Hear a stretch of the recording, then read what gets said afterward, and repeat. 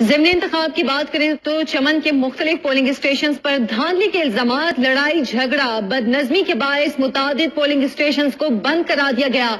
Commissioner Quetta division ने firing के वाकयात का नोटिस लेते हुए इंतजामिया को पोलिंग स्टेशन के अहाते में फायरिंग में मुलविस मुलजिमान को फौरी गिरफ़्तार करने का हुक्म दे दिया है।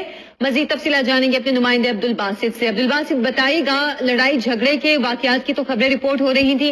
अब कार्रवाई क्या की जा रही है इन लोगों के खिलाफ? जी, बिल्कुल चमन में बलदियाती इंतबात का अमल जारी है, ताहम मुख्तलिफ़ मकाम पर धांधली के इल्ज़ाम पर। इंतबात का जो अमल है, वो कहीं जारी है और कहीं बंद है। लड़ाई झगड़ा बदनजमी के बायस मुताद पोलिंग स्टेशन को बंद करा दिया गया है, जिसमें वार्ड नंबर तीन, महिला जुमा खान स्कूल में सरेआम फायरिंग से पोलिंग का अमल जो है, वो रोक दिया गया है।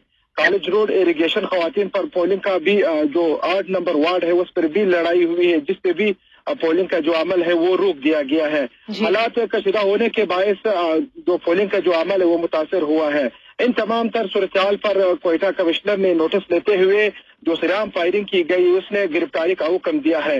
जिस पर मुख्तलिफ़ सियासी पार्टियों और उम्मीदवार ने दांधली का इल्ज़ाम आयद करते हुए कहा है कि इलेक्शन से कबल मुनजम तौर पर दांधली की जो बरसर इकतदार कुत है वो उन्होंने मुसबबंदी की गई है। ठीक है अब्दुल बासित बहुत शुक्रिया आपका तफसीलात बता रहे थे।